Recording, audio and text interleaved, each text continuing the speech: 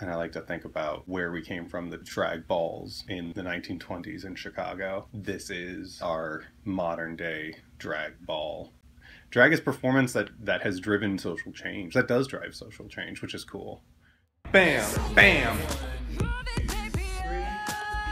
We're doing it to express ourselves and to have fun and to entertain, but we're not like, we don't have to actively try to change society because just by existing, just by performing, we are. Yeah, so this is Future Dragon. So the whole thing is we're creating a, the idea of operating all these futuristic vehicles. Let's transformer. Kind of.